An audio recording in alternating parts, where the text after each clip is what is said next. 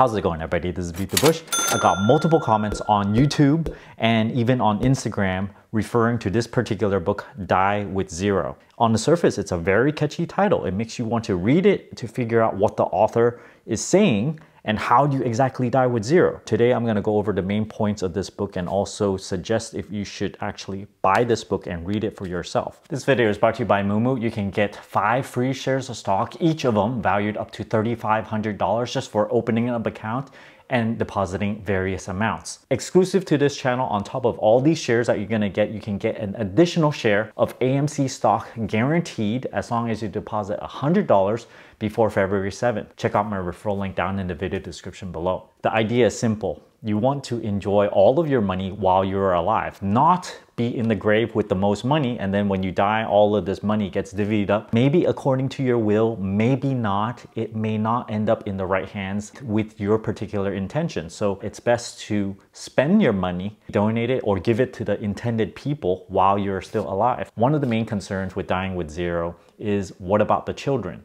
You might want to leave some for them. And the premise of this book is you should actually give it to them while you're still alive. Maybe not to the point of spoiling them. So you might want to set up some kind of structure where they get vested more and more as they age more. What about charities? Rather than dying and leaving a really, really huge amount, why don't you give the money while you're still alive rather than have like millions and millions of dollars that you just kind of socked away and made bigger and bigger. How did I with zero? This book says that you need to have a more accurate estimate of your life expectancy based on age, race, if you smoke, if you are obese, what kind of health problems you have, what kind of health problems your parents have or your grandparents have. You enter this into various calculators online and it will pop out a number. For me, it says I think it was like 81 for one calculator and 84 for a different calculator. But for this life expectancy thing, how can you believe this? Totally, right? You could get run over by a bus. If no accidents happen to you, you could still live much longer than this. And I'll talk about more about this a little bit later. One interesting thing that this book talks about is that your burn rate actually steps down quite significantly as you get older and older. And this is kind of morbid. It threw out numbers like if you're in the 50s, you spend, let's say, 60K a year. 10 years later in your 60s, you're probably gonna spend about $10,000 less, even with healthcare factored in. And then in the 70s, you're gonna spend yet another $10,000 less. Personally, I actually have some hobbies that I no longer want to do because I feel like if I break a bone or something like skateboarding or snowboarding, I just don't want to get hurt and crack my skull or something. Whereas in my 20s, I'm like, oh yeah, let me, you know, daredevil, you know, I'm like jumping on half pipes and things. So when you factor this into trying to use all your money until it reaches zero, you actually have to spend a little bit more upfront when you're younger to kind of compensate for your lower expenditure when you're older. You can also remove a little bit of risk by buying annuities where you pay a lump sum in and you're gonna get some amount per month every single month until the day you die. The premise of this book is to get the most out of life. You have a certain window of opportunity to participate in certain activities, for example, snowboarding. Let's say it's 20s to 30s. Cruises, you can participate them in your 20s and I personally have, but you can do this just as well all the way up to 80s. But maybe because you can do them all the way up to 80s, maybe you don't want to do your cruises now. You just save them for later so you at least Maybe you have some other stuff to do when you are like 70 or 80 years old. You should spend more money today in activities, even though sometimes it might be splurging to get the maximum enjoyment and maximum amount of memories, you should spend them at the right time, at the right age. Now, when you get a certain experience, let's say you went on some trip, right?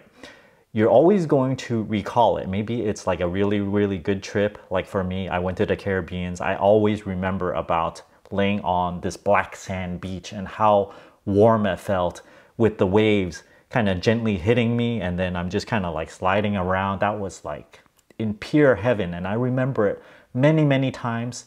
That Caribbean trip cost me probably like $2,000 back when I was in my 20s. Every single time that you think about how great it was, you get a boost of experience points. The idea is to collect as many of those as you can. The experience part of it when you're actually experiencing it is one amount of enjoyment that you get but you also get little bits and pieces of enjoyment trailing off over the years so then you can add all those up and it becomes a really, really big amount of enjoyment. Before you go, I should spend all my money for experiences today. In various points of the book, it did mention that for people that aren't earning more than what they need, this actually is not possible to spend more today because you need to save money for your future still. It's for people that are saving too much. I overall enjoyed this. It's a very, very quick read. There are a handful of good ideas in here, but I feel like there could be a little bit more, a little bit more content in here. Maybe like 50% more and then I would feel like the value of this book is there. It panders to a really large audience. It always goes, do this, but not to an extreme. You should not spend everything, neither should you save everything, but do something in between.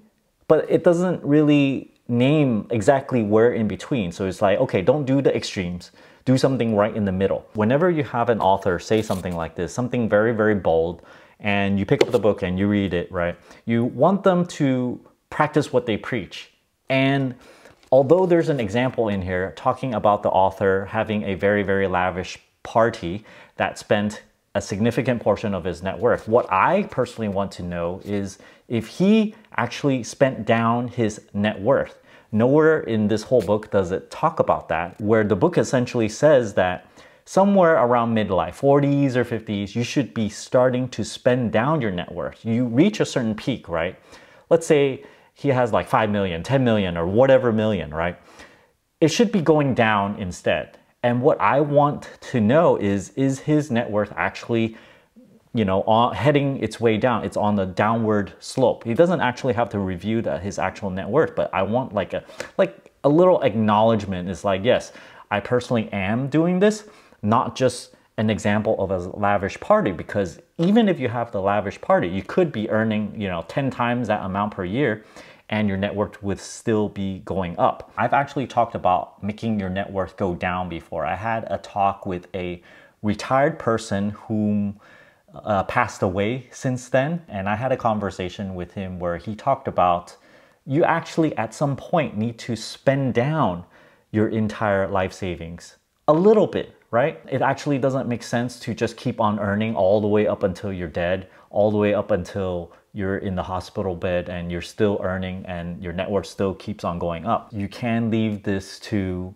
your spouse, leave this to your children, but essentially, if you leave all this to whoever, you don't get to experience all the spending of it. Spending not in the sense of buying stuff, nor is it even buying experiences for yourself, but spending in the sense that when you gift the money to these people, you are spending it. And if you gift it while you're still alive, you may reap some rewards of satisfaction where you're like, yes, you know, I, I did this, I, I actually gave it to them in person. Making your net worth go down is very disconcerting, especially when you have been making your net worth go up the past three or four decades, right? All of a sudden you're like, okay, you got to force yourself to be a spender rather than a saver. You save a lot. Like for myself, I save like almost 100% of my income. I like derive a lot of value out of credit card churning and things like that. And I spend that as my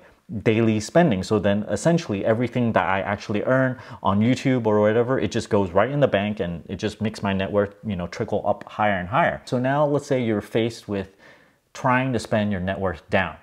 This is very, very difficult to do. And it probably requires some practice and some kind of reassurance that you're not going to run out of money before you die. Let's say you're not trying to make it go to zero all the way. Maybe let's say you want to spend down half of your net worth. For some people though, I think spending this money down might be more stressful than it's worth because if you're stressed, then maybe you're gonna die sooner because you're just worried that you're gonna run out of money. Here's another critique about estimating when you will actually die. Let's say you do all the calculators. It says your estimated lifespan will be 81 years old, 84 years old. But you have to realize this is a bell curve distribution. The average person is going to live till 81. But there's going to be a few percent of people and it might just be you that is going to live till 90 or 100. And if you do this, if you try to spend it to zero right until 81, you will run out of money and then you're going to have another 10 years to live what are you going to do in this case? Well, maybe you can save more money, you can estimate that you're going to spend down to zero when you're 90 years old. If you do this, you're not going to be completely efficient because if you plan for dying at 90, but you die at 81 instead, you're gonna have nine years of living expenses that is still unspent. Due to the inaccuracy of estimating when you will actually die, you are then forced to have some kind of margin of safety. And having this safety means you will not die with exactly zero. Far from it. Because if you want some kind of comfort that you won't run out, you're gonna have to have a pretty large margin of safety. 10 years, maybe 20 years, because you might just live that much more longer. Medicine might get better all of a sudden, and boom, you know, you live longer just like that. Still, even with all this critique, I think the idea is sound. Dying with zero just kind of pushes you to spend a little bit more while you are alive rather than saving every single penny. This book is called Die with Zero by Bill Perkins. It's around $13, $14 on Amazon. I'll leave a link to that down in the video description below. Thanks for watching this video. Don't forget to give me a like and subscribe for more.